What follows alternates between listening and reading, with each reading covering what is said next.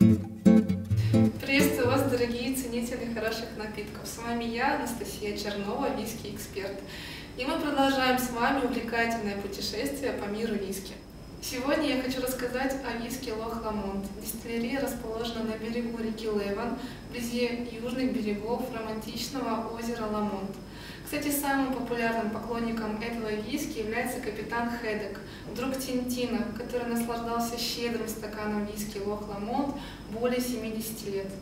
Дистиллерия основана в 1965 году и начала быстро увеличивать объем производства. На сегодняшний день дистиллерия производит 4 миллиона литров солодовых спиртов в год и 15 миллионов литров зерновых спиртов в год.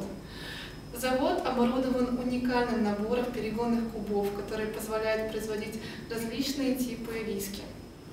Кроме традиционных медных перегонных кубов и кубов непрерывного цикла, дистиллерия производит виски в перегонных кубах под названием «Ламонт» с необычными ректификационными колоннами в их верхней части, благодаря которым производитель имеет возможность получать более легкий спирт или более тяжелый по своим вкусовым качествам, от сильно торфяного до насыщенного фруктового, мягкого и ароматного виски.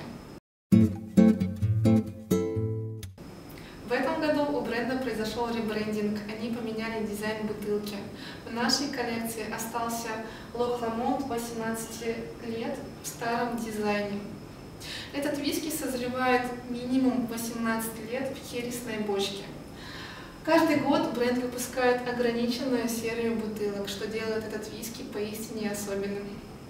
Давайте попробуем этот виски.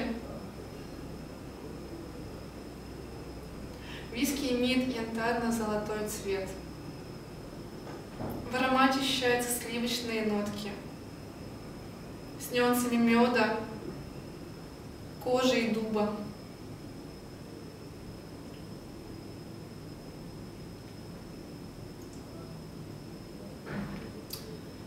Вкусе присутствуют цветочные тона с нюансами ванили. И даже немножко ощущается торфяные тона. Очень плотный и маслянистый виски.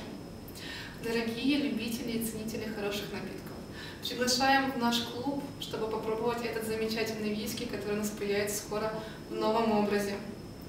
До скорой встречи и до свидания. Слон жива!